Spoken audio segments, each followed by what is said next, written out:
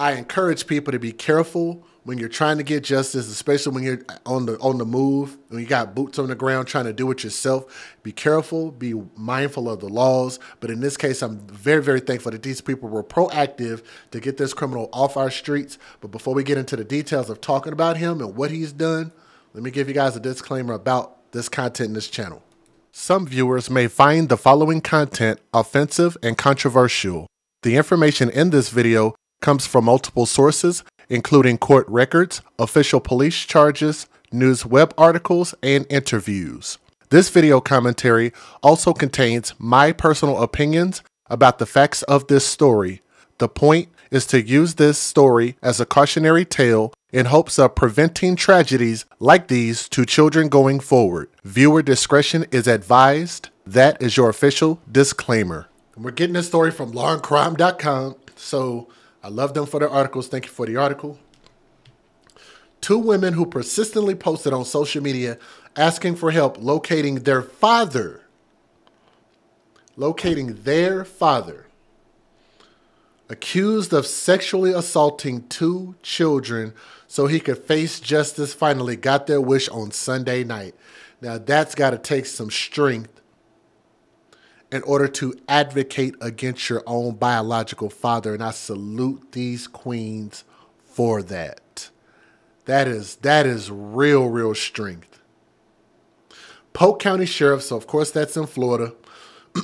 Sheriff's deputies arrested 51-year-old Davie Albarran on Sunday night in Lakeland, Florida. Sheriff Grady Judd said in a video posted to Facebook. Judd said deputies got a tip that he was at a home on County Haven Drive, and deputies took him into custody. It might have been Country Haven Drive, but it wasn't. It was not Haven for him, Judd quipped. The Osceola County Sheriff's Office in December 22 issued a, a, a, an arrest warrant for Albarran for two counts of sexual battery on a child.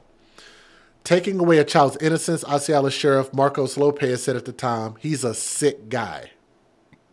The case has gained notoriety on, online thanks to a large part of Albarran's two daughters, Anna had been posting for over a year, urging anyone with information to turn her father in.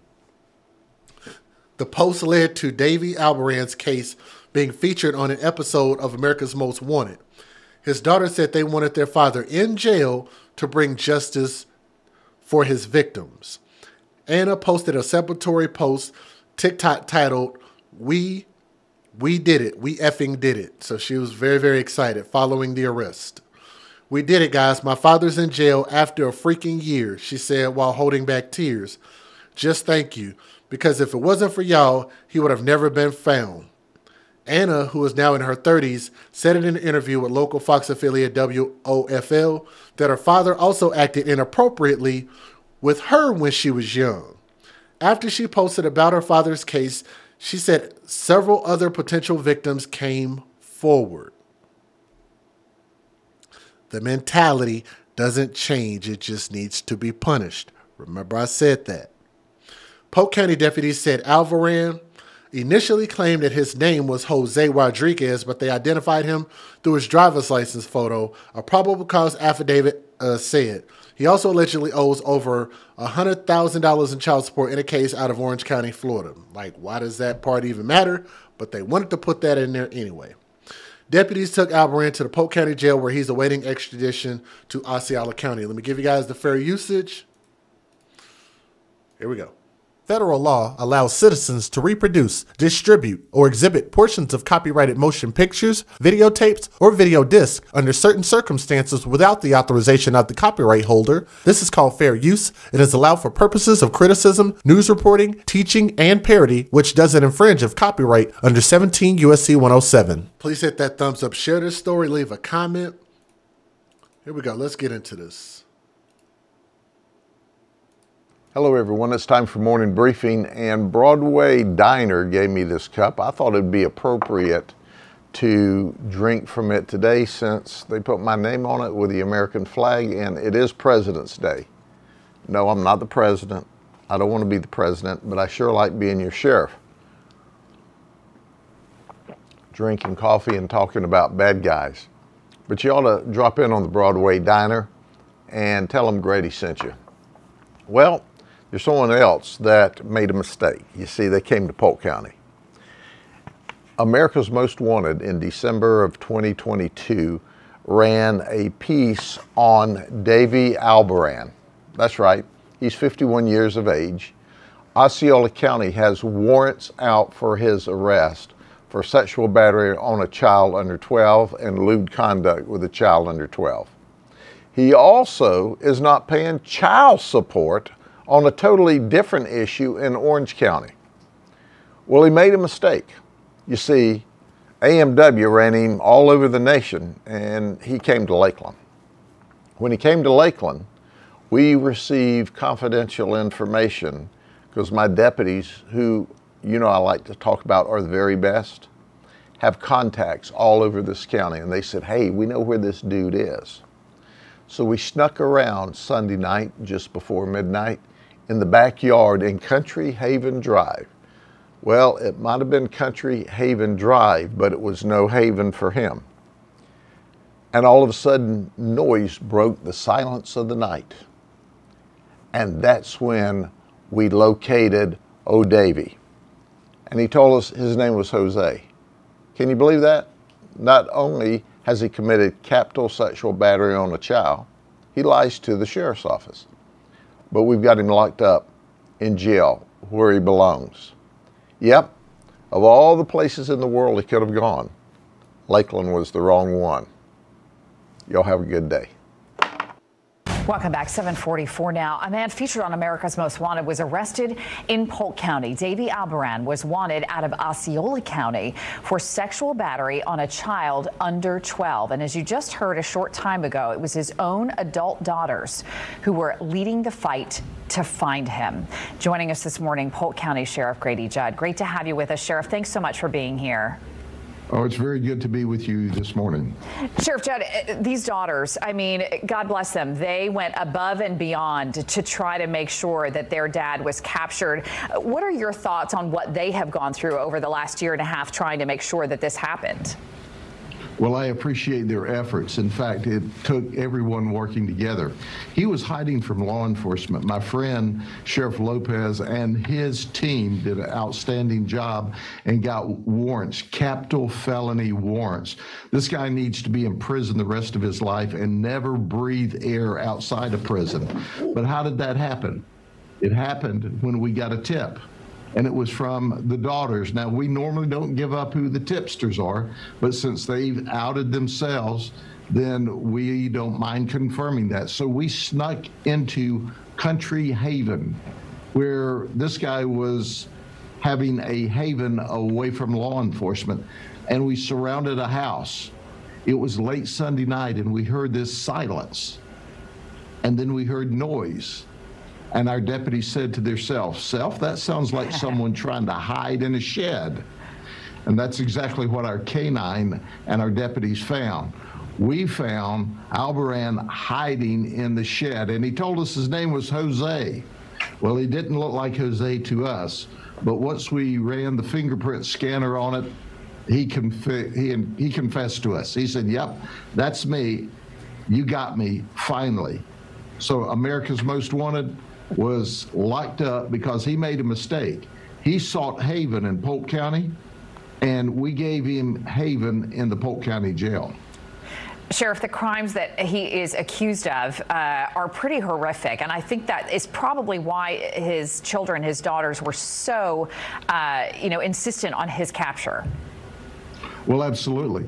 Anytime you sexually batter a child under 12 years of age, and there's two warrants for two different events, it doesn't get any worse than that. He's a pedophile. He's a child molester. He's the worst of the worst. And I applaud his adult daughters for working with us to capture him. What about America's Most Wanted? Obviously, the, the case was featured on that show, and you guys highlighted that in your post when you put out that he was arrested yesterday. I, I'm sure you appreciate the efforts of shows like this. Absolutely, because the more transparency you have and the more light you have on bad guys, the less places they can hide. And he can run, but he can't hide whenever we're looking for him across the nation. And it's not just law enforcement, it's wonderful citizens like these young ladies. When the community works with us, we keep the community safe. If you see something or hear something, say something. You And I promise you guys, I really truly believe that Sheriff Grady Judd has seen our channel. I, I hope he one day gives us a shout out, as I give him a shout out all the time on our channel, probably just like a lot of people around the country do. But I think that we've used that mantra longer than anybody has on our channel. Five years now. If you see something, say something. I'm glad he said that. I, I actually want to hear him say it again. Let me back that up not just law enforcement, it's wonderful citizens like these young ladies. When the community works with us, we keep the community safe. If you see something or hear something, say something. You don't have to get involved. You don't have to come out publicly. No one ever has to know who you are. And this is an example of how we catch bad guys when people in the community work with us. Well, we certainly appreciate your efforts, and uh, we definitely appreciate you taking the time to join us of course I'm going to post pictures of the people that have been harboring the man who has been hurting children, over 20 kids, some of which they know. This woman walked in on him doing it and then walked out and did nothing but make a little joke about it. This is Madeline Albarran. Take a good look. Don't leave your kids around her. And if you have left your kids around her, please ask them if anything has ever happened to them. This is Olga and Jasmine, real Christian, um, harboring a man that has hurt over 20 kids, harboring a man that bought a child, that bought a four year old. Yeah, that's them. Take a good look because we have proof. Also, she's part of the slingshot stuff. If you have ever bought a cup from her, that was how my father made money. He would make the cups and then they would sell them at these events. So if you bought one, that one was made by my dad. Please do not help my father. If you are friends with them, please do not help them. Don't let this be you over my dad. My dad has hurt kids. You really want to go to jail be- over a man that will like hurt your own child? If he'll hurt his own grandkids, you think he won't hurt yours? You think for a second he wouldn't hurt? Oh, I hate y'all. I cannot wait to see your mugshot. I have been waiting for this moment for over a year, and I was right about everything. Everything I told the cops, I was right. Um, I was trying not to make a video about you, but since you keep telling everybody that uh, Daisy's lying, um, you can. um, so he's been helping him. Also, my father has been going by the name Max. So if you hear any of them talking about their brother Max, that's my dad. He's been going by Max Albarran. May you have the life you deserve after this. Because I got you. And so do the cops. And they're going to come for you. Get your stuff in order.